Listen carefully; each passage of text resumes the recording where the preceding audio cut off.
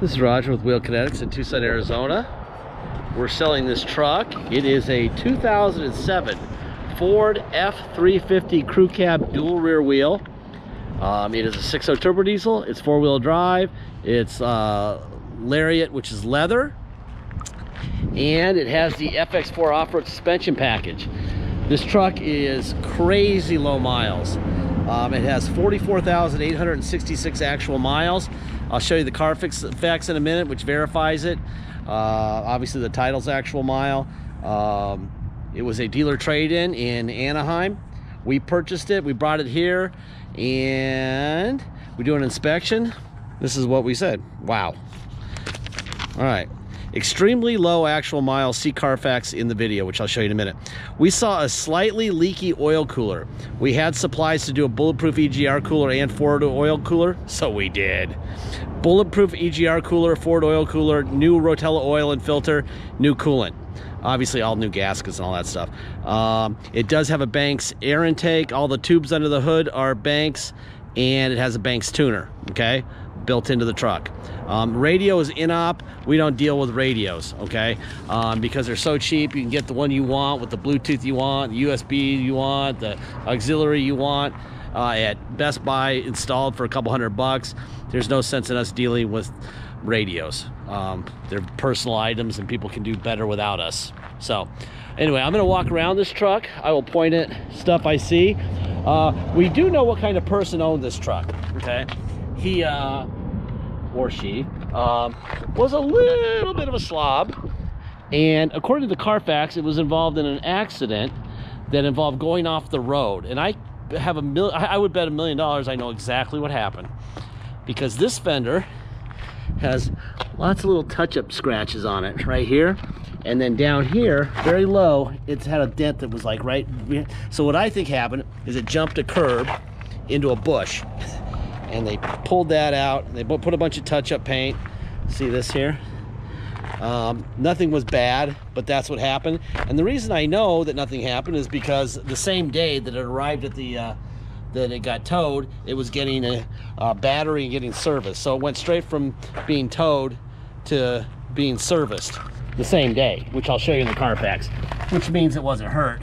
It was just, its pride was hurt more than anything.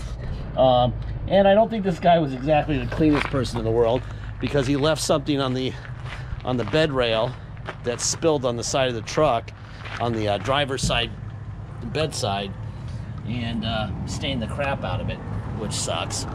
Um, really, a painter on that fender and the upper bumper cover. And you got a little dent right here. Check this out though. Look at the bed.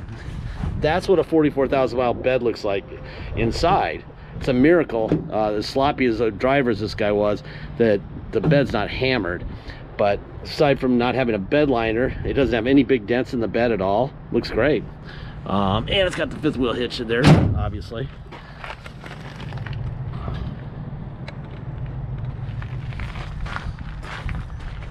See?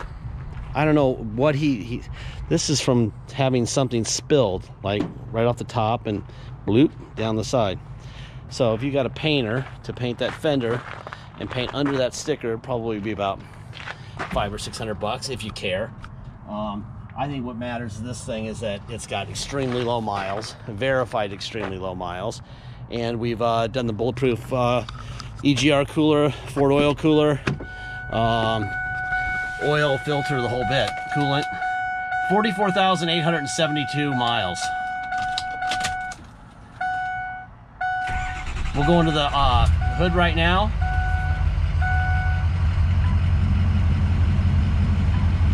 my guys tell me that the reason this radio doesn't work is whoever traded this thing in decided it'd be a good time to uh, take the amp. So, but who knows, man? Maybe he took the amp because he knows the radio doesn't work. That's why we say it just doesn't work. We don't want people to think that it does when it might not. There's the Ford stamps. You know, this is the original fender. Here's the uh, Banks AutoMind. Okay, that's the tuner that's in it. Aftermarket airbox, banks, intake, tubes. Ford stamp here. cat sticker where it belongs. Ford stamp here. This is important because this is the fender in question. They didn't replace this fender, okay? And then there's the uh, Ford stamp on the hood. So all the parts up front are original. This is why we have the accident report because he jumped a curb and went over the curb right there. Boom, he did that. And he went into a bush. And then he stores stuff on top of the bed rail that spills all over the truck.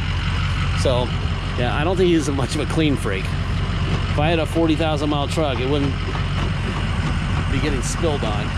Um, all right, like I promised, I'll give you some paperwork here to look at. Here's the Kelley Blue Book. First, we'll start with that. I think it's really low on this truck. Well, it is because it's bulletproof now. There's uh, Lariat Crew Cab, 44,866 miles.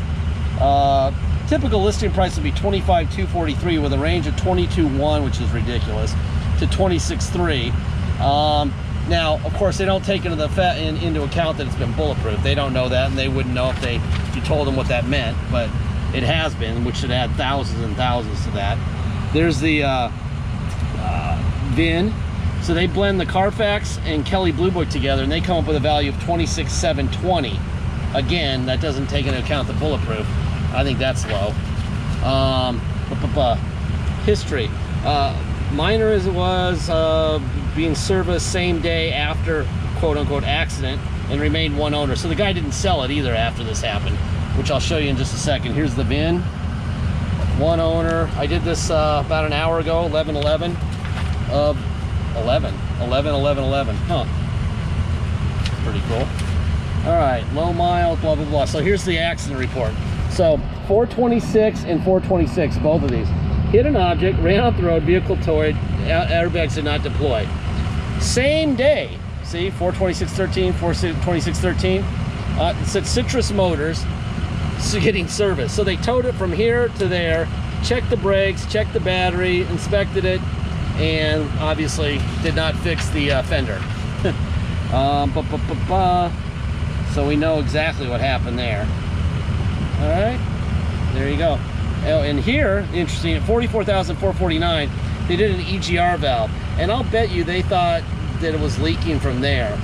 And then went, you know, a couple hundred miles later, they're like, it's not leaking from there. And then somebody told them it would be, you know, thousands and thousands of dollars through the oil cooler. So they traded it in. And so that's dealt with. Um, the oil cooler, which is a pain in the ass on a uh, 6.0, is done. Um, uh, and the uh, bulletproof EGR cooler, which replaces the flawed former Ford oil cooler, is done also. And so that's the non-issue.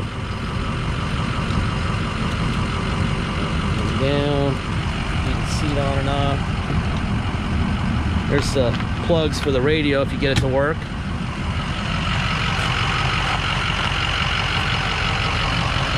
See this?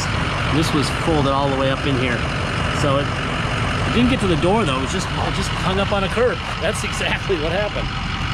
But uh, you know, in these videos, um, it's our job, my job, to make sure that you know what you're buying and that there's no bullshit. All right.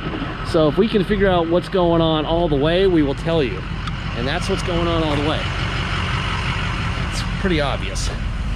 So we tell you that way we don't have any drama and see the see it had a I'll go to the other side it has a box under there so it has some sort of a super radio in there it may still be there speakers and stuff but uh, like I said we're not in the radio business uh, we sell cars a lot of diesel trucks not radios so there you go let me see if I can get this thing to fold up uh, hold on a second. Uh, wait, like this, maybe? Crap. One-handed, this is not, there it is. One-handed. So that's the box underneath it. And apparently, oh, there's a sub right there. It's a nice box under here. Huh. I don't know if I did that window or not. Um, apparently they stole the amp or they took the amp out. It was probably an expensive amp and it was probably easy to unplug so they did, but uh, we're not dealing with it.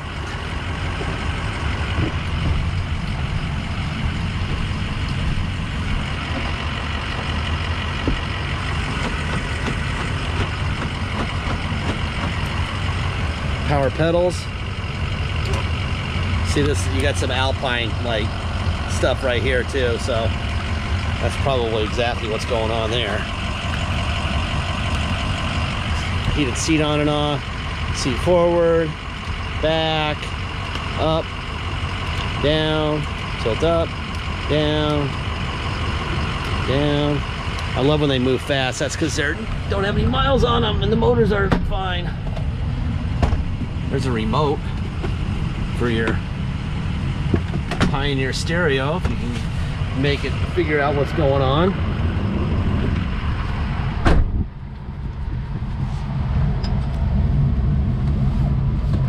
All right, let's see. There's your rear window, moving nicely, which is nice to see. Uh, let's see. So that's the radio, right? That we're not dealing with. I don't even know how it works. Whatever. Anyway, like I said, I'm not doing anything with that. Temperature up, temperature down. Let's try the steering controls for the fan up and down. That works fine. Temperature up and down. That works fine. Boom. Perfect. Let me get the sun out of our eyes here, out of the glare here so you can see the dash. All right, there you go. Now we can see better. All right, do a setup, check, engine temp okay, transmission temp okay, oil pressure okay, brake fluid level okay, all doors closed, air filter okay, 113 miles to empty, system check complete. Let's see, tow, see this, tow on, and off, right? Um, what else? Go to neutral, we're gonna go to four low. So now it's low range 4x4, okay? I'm gonna put it in reverse.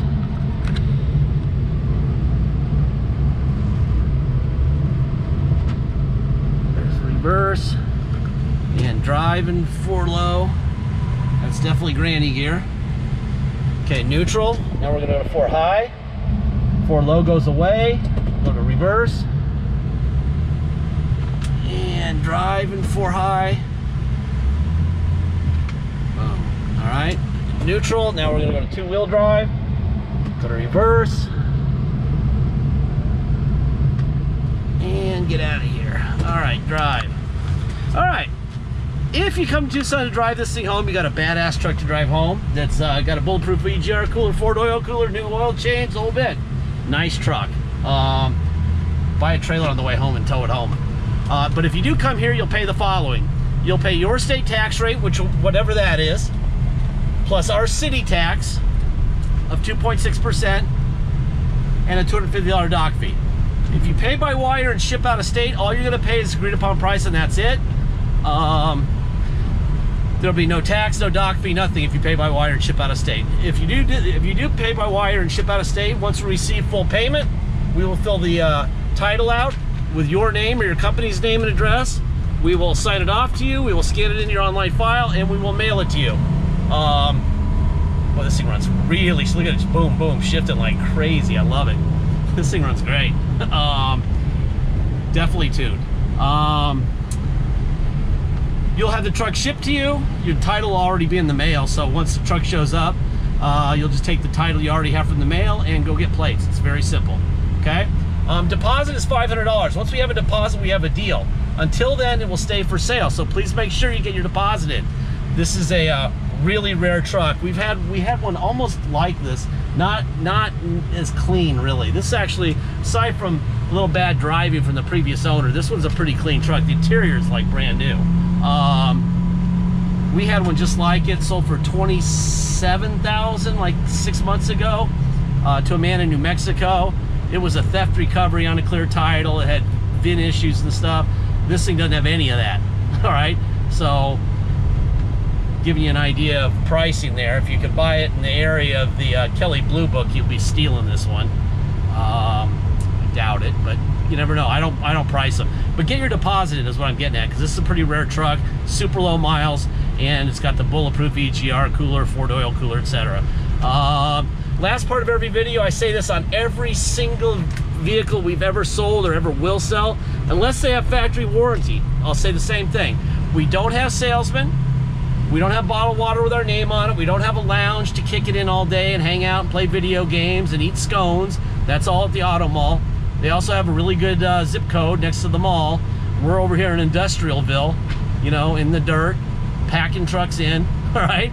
Um, so you're not paying for salesmen or location or food or water bottles or attendance or game rooms or any of that crap, right? Um, so you're saving a bunch of money because of that. Uh, they also know at the auto mall that if uh, you buy a vehicle from them, a used vehicle from them, and it breaks, you're going to come back and want it fixed. Uh, they include that in the price of the vehicle that when they sell it to you also. Okay? We don't because we're not fixing your truck. You're the owner on day one. I can't imagine what's going to happen with this truck mechanically unless it falls into the hands of the former owner and you drive it into a ditch. I mean, this thing's a badass truck. It's a really nice truck. So I don't really think that you have to worry about anything other than keep it on the road and change the fluids once in a while, filters and stuff. Um, if you do that, you're going to be fine. Um, but just know that if something happens to it, regardless of when, um, you will be fixing your truck. Um, other than that, really badass truck.